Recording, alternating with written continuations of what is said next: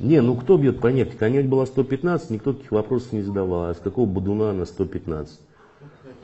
А сейчас, значит, кто бьет по нефти? Ну, ну слушайте, когда у вас предложение нефти превышает спрос на 5-7 миллионов баррелей в день, ну, ну американцы увеличили добычу сланцевой нефти там, за 3 года на 70%. Да. Кто? Фланец. Что значит умрет? Ну.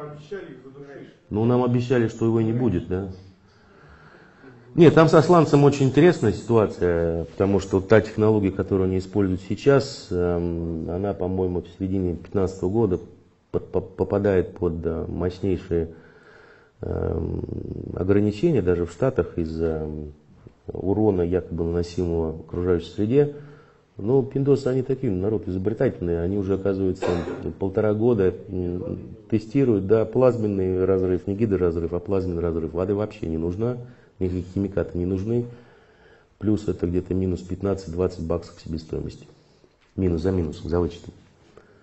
Поэтому я бы особо не надеялся на то, что там, сланец умрет и Газпром воспрянет как птица Феникс. Не, не будет. Плюс э, они еще сейчас добились такого невероятного, что стоимость ветровой и солнечной энергии у них стала ниже, чем газовой. Это при том, что у них очень низкая сейчас стоимость газа в Штатах. Ну, поэтому я бы особо не рассчитывал на какой-то там смерть или конец сланцевой революции. Нефтехимия. Ну а что нефтехимия? Но ее же нельзя ветром. Но ее нельзя заменить ветром, но слушайте, если у вас на нефтехимию тратится где-то 55-60% всей добываемой нефти и газа, ну уберите 40%, и что будет? Саудиты снова вернутся к своим любимым верблюдам. А мы, а мы будем, как нам завещал великий Дугин, водить хоровод по Золотому кольцу в лаптях. Я не шучу, он так говорил. Ну, поскольку генератор Росси подтвержденная технология уже всеми, она не может существовать, потому что не может существовать, нам так сказали великие ученые.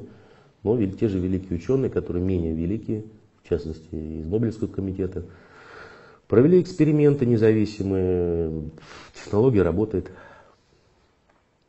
Ну, это, понимаете, холодный синтез, так называемый, или трансмутация, она, понимаете, она еще была известна алхимикам, простым растениям, рачкам.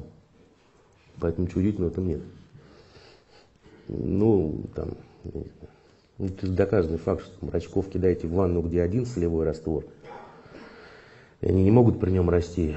Через э, две или три недели смотрите, рачки гады стали расти, а солевой раствор поменялся. Вот холодный синтез в. Ну и все, генератор оси просто разновидность.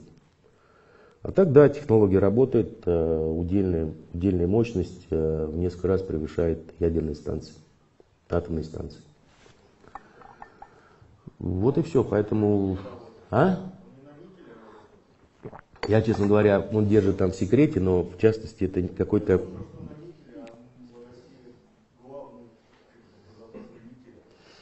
Ну, ну, слушайте, у нас кто-нибудь работает над генератором Росселя? У нас же есть, по-моему, да, у нас же есть комитет по борьбе с лженаукой в Академии наук. И все наши ученые, ведущие, не раз заявляли, что все это бред силы кобыл, это не может быть, потому что не может быть. Все.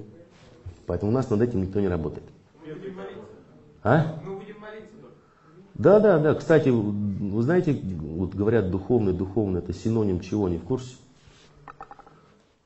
Это синоним вонючий, смердящий. Кроме шуток.